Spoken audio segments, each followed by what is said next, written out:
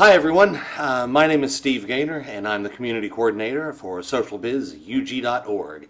And I am pleased and honored today to have our member of the month, Mr. Ray Bilyk. Ray, how are you?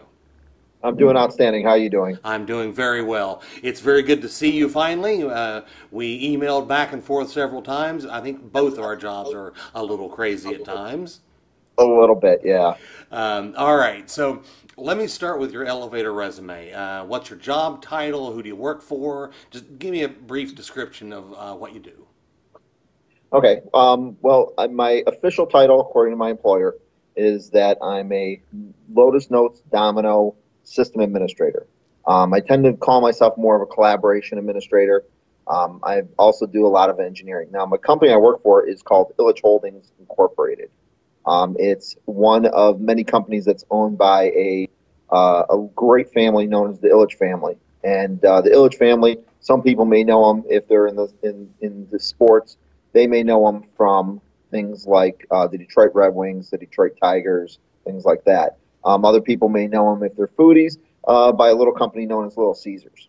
Um, so um, my my responsibility, my job is to just make sure that all these different subsidiary companies and the different other business units that we we have under our umbrella all work together. I know Little Caesars. Five dollars hot and ready, baby. Uh, I, um, I, I know it's um, it's especially me living here in New England that it's a terrible thing, but I don't really follow sports. Uh, but Little Caesars, I got. um, okay, well, I was looking at uh, the website for Ilitch Holdings. Um, so uh, you already said most of it, but if you could expand just a little bit more in particular. Um, the website says uh, you provide professional services. What does that mean, really? Uh, and if you, uh, well, you've already mentioned the companies, but yeah, if you can just expand a little more on, on what you mean by professional services. Sure. Um, professional services are, are, any and all of those things that allow these different companies to work together. Um, some of the companies that we work with um, and, and have under our umbrella, besides the Detroit Red Wings and the Detroit Tigers and Little Caesars Pizza, are some of the organizations that um, kind of support the those organizations. We have one called Blue Line Distributing that handles all the distributing of all the materials to the different Little Caesars restaurants. Uh, we also have one called Champion Foods. Uh, Champion Foods uh, is the part they make the basic ingredients that uh, we use at Little Caesars. Uh, they also do uh, a, a, lot of now outside and contract work with some of the other um, vendors and different companies out there. Um, if you've ever gone and, and gotten scones, frozen scones, at a grocery store, there's a very good chance that those scones were made by our Champion Foods division. Um, we also uh, do Olympia Entertainment, which uh, Olympia Entertainment is uh, any of the Detroit area um, entertainment venues, uh, especially Joe Louis Arena. We own the Fox Theater, and um, we provide those different. Uh, um, uh, it is what my job is, and what we do at um, Ilitch Holdings is we make sure that any of the support mechanisms in, are in place uh, to be able to handle the technology, to handle um, uh, things like telephones um, and other logistics of, of that nature. That's what we do as, pro- as professional services. That sounds like it can be pretty challenging. Uh, very challenging, very challenging, and also very keeps us very busy. That's for sure. Uh, well, we have, on, on that note, then, um, uh, if you can, can you uh, describe a recent challenge that you had and what you did to overcome it? Oh, uh, well, let's see. Uh, there's, there's been a lot of challenges in, in what we do. Um, one of the challenges, uh, for example, is that, um, oh my goodness, re- recently we've been working with trying to get Notes and Domino uh, brought out to the different various business units and uh, in, in, doing an upgrade eight, from 853 to 9.0. And so we, with the fact that we have different companies and all these different companies are nationwide, basically, uh, we have to make sure that uh, I had to get the, the media in the right locations. I had to make sure that the smart upgrade was working properly. And also, we're, we're testing uh, Smart Cloud right now. And so we're, we're finding uh, places where the smart cloud would be a nice fit and be able to bring in um, pieces and parts of it, like uh, bring connections into the fold, so that, um, for example, we have uh, a convention that we do, um, and we're looking at maybe using connections as a way for the different presenters around the country to be able to work on their sl- uh, slide decks and get them enhanced so that all that information, as well as things like uh, their bios, their their pictures and things like that, are all available to all the people that are coming to the uh, the convention, and so that everything's just up and ready and ready to rock and roll. And that's kind of what we're we're doing in uh, in right now in in our environment. Oh, excellent. So, um, well, then that leads me to my next question. Then uh, I was going to ask if you currently use connections, but it sounds like you do. Uh, and then, as a side question, will you be upgrading to Mail Next? Uh, Mail Next really right now isn't on our radar, and I think it's just because of the, the, the fact that we want to get we want to get upgraded to nine first. Uh, I will say this that what they're doing with that is very enticing and uh, it's definitely something we want to look at.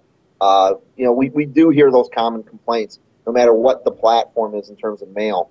Uh, we get people that come into our organization, our different business units, from uh, from using Outlook and even other mail systems, and the, the, the common complaints are the same. And I, I think that from what I'm seeing with Mail Next, this is going to solve a lot of their problems. Get, just getting the work done and not getting lost in the minutia of the mail. Working with people instead of with paper. You know, because really, paper now is the the emails that we get electronically. What used to be ten years ago, trying to find in a stack of paper, you now have to try to find in a stack of email. If we can kind of uh, document, tag, and organize this information, and have the system do it for us as well, we can get back to just working and talking eye to eye and just having that stuff at our disposal uh, you're preaching to the choir on that. Yeah. Uh, I mean, my inbox is overflowing, and I can never find anything that I need. Um, Absolutely. Uh, do you? Um, uh, and I, I want to just come back to it. Do you find um, connections uh, to be very useful for you? To be a useful tool?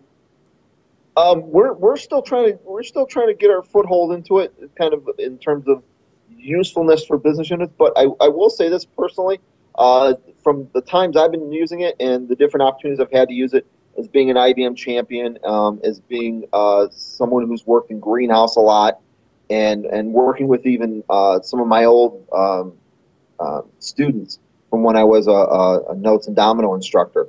Uh, those types of opportunities to interact, it, connections just makes it so much easier just to put that stuff together. Yep, yep, I got to agree with you there. Um, okay, so I have now what I always call the most important question of the interview. However, this time I'm going to change it up a little bit. I always ask about what's your favorite movie. Well, this time I want to ask um, Have you read any good books lately? Can you recommend one? Maybe give us a, just a thumbnail book report. Honestly, my, my favorite book of all time, and it's one I actually go to and read quite a bit, even though I probably can recite a lot of it word for word is a book by a gentleman named Charlie Papazian, um, and it's called the the uh, Joy of Homebrewing. And uh, what this book, I'm, I'm an amateur homebrewer, and so uh, this book is like the Bible for those of us getting started in homebrewing. Uh, this book provides it's so much information, and the the great thing about it, it's in very digestible pieces. It's it's it's very much like a uh, introduction to homebrewing. But for those of us that have been doing it for quite a while, it also provides a lo- lot of great information about uh, doing things like working with the different water mixtures, uh, different types of yeasts and how we use them, uh, going from bottle to kegging your beer, things like that. Um, even doing uh, meads. Uh, this, this book has a little bit of everything, and uh, it, it the, the motto that's really used throughout the book is something that really sums up the entire book. Just relax, don't worry, have a home brew. And so it, it's it's one of the best books I've ever read. Oh, that sounds awesome! So you make some of your own brews? I do. I, I love making. I love making beer. Uh, there's there have been times I've brought a couple down to uh, Lotuspheres and Connects to just sample with some people and get their feedback. And the great great thing about that is uh, especially when you're seeing your friends and, and, and your extended family uh, after a year of being away from uh, the amazement of, of the, the joy of seeing the look on their face when you're handing them a bottle of beer and you say, "This is something I made. Uh, enjoy it." And give me feedback, and they do. They're they're they're honest, and it, I appreciate all that honesty, and I use that to take back and try to make my beers even better. Do, do you name your beers? I try to. I, I don't get too fancy with them just yet. I don't go too crazy. Um, I, I find that sometimes when you get beer beer names that are the crazy crazy names like uh, um, destitute or uh, um, yeah, some of those crazy names, it makes it really hard to understand what that beer is just by name. So I, I tend to name them more after my family. Uh, my uh, uh, and also some of the things that I enjoy doing. My the name of my home brewery is the Pride Lands Home Brewery. So I based it off of characters from The Lion King. Um, my raspberry wheat's called Rafiki's Raspberry Wheat. Uh, Stout is named after my wife Jennifer. Uh, my um, some of my other beers are named after my daughter Kiara, my son Devin, and so it, it, it makes it makes it easy to remember uh, what what type of beers I'm I'm selling or, or giving away just by uh, naming who who's who they're named after. That's awesome. That that is really cool. Uh, I know the feeling. I, I, I like to cook, uh, and when I can make a nice meal for friends, you know that's that's a, a wonderful feeling. It's a set of pride. It really is. All right. Well, actually, I'm going to throw in one final question for you. Okay. Uh, is there one fact uh, about yourself that people might not know? Ooh, one fact. Okay. Um, one fact that people might not know is that um, I used to be a pretty good bowler, and in fact, uh, in ten pin bowling, uh, I bowled a perfect game. I bowled a 300 game in a tournament one time. Uh, that's probably that's probably one fact not a lot of people are aware of. Excellent. All right, Ray, I think we're out of time. Uh, I appreciate so much you taking the time uh, to talk to us. Um, keep posting on social biz. We love hearing from you. Absolutely, I, I, that's it's my favorite site. It's also the site I send everyone to. Ah, that's so good to hear. All right, you take care, and I will see you on socialbizug.org.